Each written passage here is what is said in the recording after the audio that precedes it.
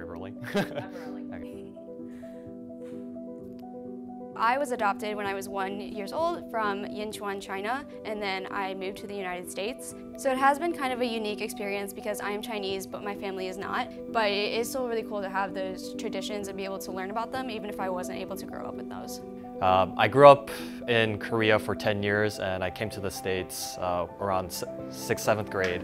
Um, I've live, been living here for 12 years now in the States. Growing up, my childhood is mainly based in Asia and coming to the States, I get to really experience a whole other level of cultural differences and it really kind of makes you think in different ways and that's, I think, really valuable when it comes to uh, shaping a person's identity and their personality.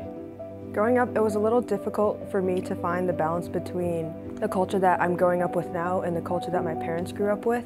They have very different traditions that I value, um, that I hope to be able to pass on to my kids one day. Yeah, I think it's really important that since my parents come from such a rich heritage, uh, uh, with such a diverse culture, um, I really want to be able to maintain it and I think it's really important for me that I maintain this rich background that my parents raised me up with. Growing up, my parents started a small hibachi restaurant in my hometown.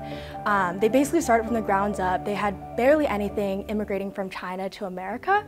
And so as a kid, me and my sister really worked in the restaurant as young kids and learned from a very young age what working hard is like, having dedication, and just being very driven. Sometimes people ask me, how do I work so hard? And that's basically because I understand a lot of the sacrifices my family had to go through to get me to this position.